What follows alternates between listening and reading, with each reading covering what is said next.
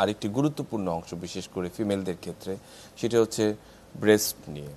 এবং এর দেখা যাচ্ছে যে অনেক ক্ষেত্রেই মানে বিশেষ করে জীবনের কোনো না কোনো পর্যায়ে তারা আপনাদের কাছে আসেন।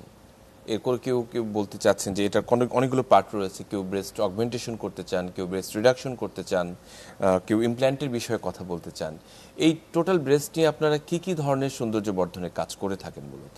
ব্রেস্টের কাজগুলি আসলে যদি গ্রস সেটিংয়ে বলি তাহলে তিনটা ভাগে ভাগ করা যায়। একটা হচ্ছে ব্রেস্ট অগমেন্টেশন বা ব্রেস্টের ইনহ্যান্সমেন্ট মানে শেপটাকে বাড়ানো কাপ সাইজটাকে বাড়ানো।